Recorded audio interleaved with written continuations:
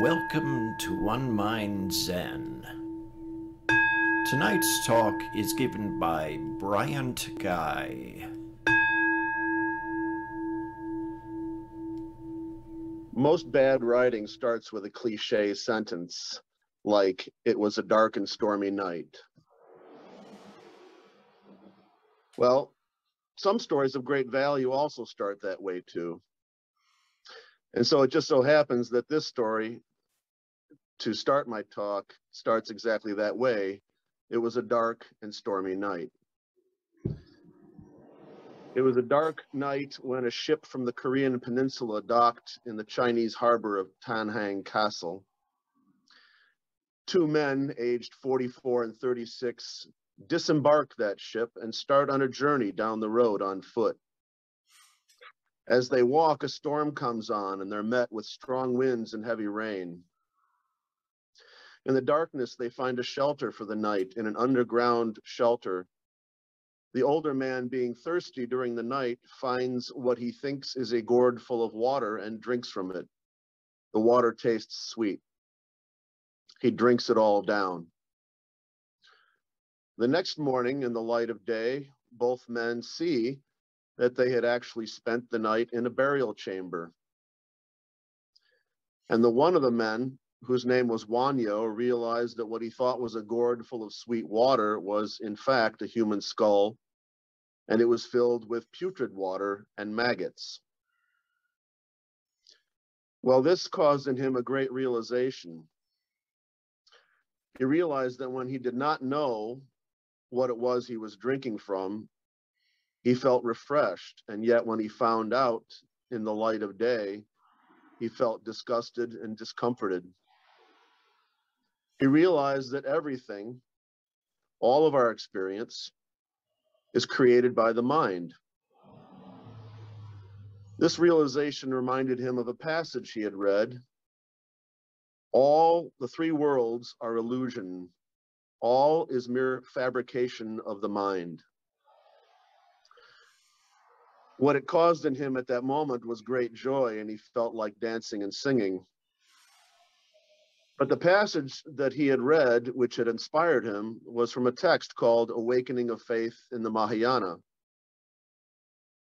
This text, Awakening of Faith in the Mahayana, is a very short but very densely packed philosophical outline and encapsulation of all of Buddhist Mahayana thought at the time. And it was hugely influential in East Asia.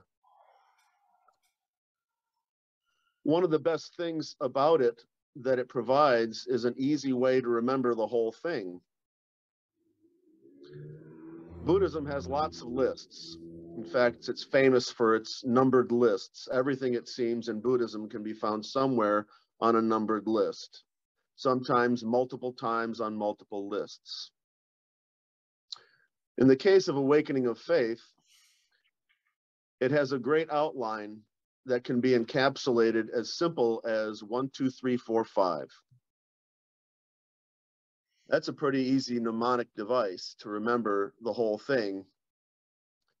Kind of like coat hangers, you can hang all the rest of the teachings on a great memory device. The structure of the teachings in the awakening of faith are in the form of one, two, three, four, five. The first, number one, is one mind. Now, what that refers to is one mind of suchness.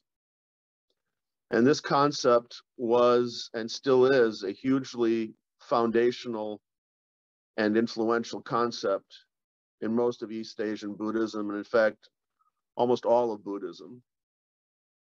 Another text that was very influential starts out its first chapter saying that all things are one mind, uh, the mirror of Zen. Uh, another Zen master, Huang Bo, talks about one mind.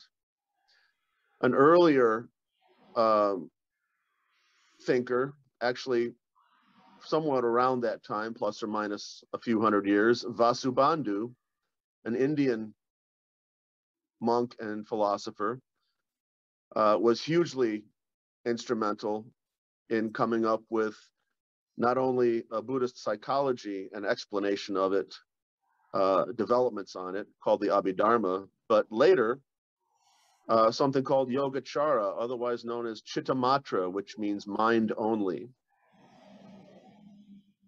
And mind only in Vasubandhu's uh, ideas, uh, it's, it's quite an involved topic, but one of the ways you can boil it down is that the only way we can know reality is through the mind. There may be an objective reality outside the mind, but we can't know it other than through the mind. And so, one interpretation of mind only is that everything that we experience in our lives, when we meditate, when we drive a car, when we eat dinner, everything is only knowable through our minds.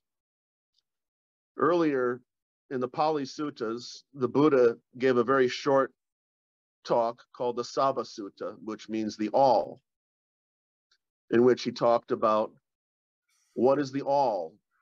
The all is the eyes and eye contact, the ears, ear contact, the nose, nose contact, touch, uh, basically the five senses, and the mind and objects of mind. He called this the sensorium, otherwise known as the all. And his point was is that all of reality comes to us through these six sense doors, through these six entrances. That's the only way we know of things is through this. And to me, that is a great complementary teaching to the mind only idea. Anyway, so this is item number one in the awakening of faith, the idea of one mind. Number two is the two aspects of one mind. The first aspect is minds in the mind in terms of the absolute, which in Buddhist lingo is generally called emptiness. Uh, emptiness is also can be called suchness, but in awakening of faith, they put a twist on that. Uh, the twist is that uh, emptiness in general in Buddhism means that all things are empty of inherent existence. And the twist that awakening of faith puts on that is that there is an absolute and is the emptiness of all things, and yet there is one thing that is not empty because it is full of certain excellent attributes. Um, that being the mind. Then the second of the two aspects of one mind is the mind in terms of the relative existence or phenomena. And that in the text is a quite lengthy section describing the eight consciousnesses and storehouse consciousness, the eighth, which harks back to Vasubandhu's mind only theory as to how reality is created for us. Next on our journey, we have the three, the three greatnesses or the three great things about suchness. So what are the three great things about suchness? Well, the first is the essence of suchness. It's eh, it's great. And when I say great, and again, Mahayana, the word Maha means great. Yana means vehicle. And so the teachings of Mahayana are teachings of the great vehicle. And great in this sense is not big. It doesn't mean that it's better than than your vehicle, although some usages of the term um, in colloquial terms uh, took that on because they started describing the older teachings as the Hinayana or the lesser vehicle greater and lesser. But what Maha really refers to is greatness in terms of the absolute, in terms of ultimate reality. Mahayana philosophy, Buddhism, talks about uh, ultimate reality in a way that the original teachings in the Theravada or Hinayana did not. This is sort of like going from the smaller view to the much expanded view or an expanded application of the teachings. So the three great things, or the three maha, great things about suchness, the first is the essence of suchness. Uh, just the fact of it, just the realization of it, uh, is a is an ultimate thing, and is hugely beneficial in our practice, and is the whole point, essentially, of practice of the Dharma. The second of the great things is the attributes of suchness, the excellent qualities. And this is one of the twists that the awakening of faith puts on uh, sort of a development or its interpretation of the emptiness teachings. It says that um, suchness uh, actually does have some very excellent qualities. Um, I won't I won't list them here because got to get to the rest of the outline. But the third greatness is the influence of suchness.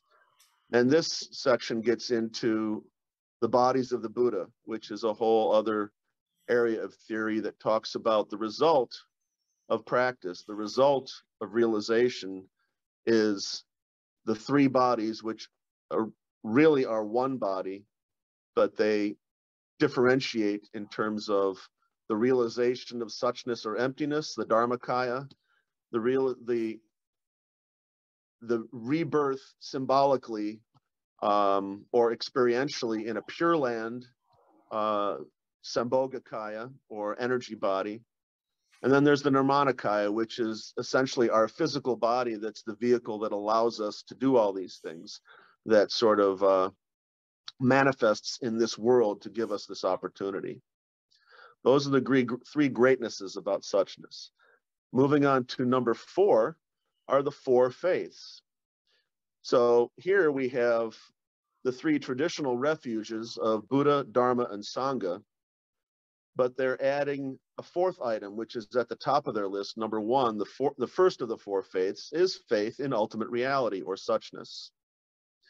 So an important aspect of this is that traditionally Buddhism and Zen have talked about the necessity of three things uh, to progress in your practice great doubt, great courage, and great faith.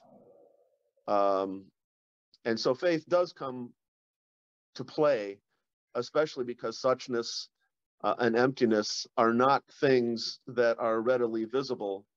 Uh, they're more something that is intuited.